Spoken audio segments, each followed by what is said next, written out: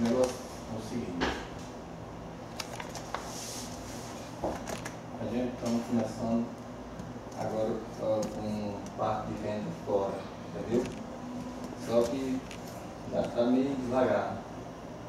Faturamento, tudo, só que a gente vai ter que bolar e desenrolar no meio do campo, porque está enrolado. A gente também tá me falando. entendeu? A gente tem que se juntar, se unir. Eu tenho que precisar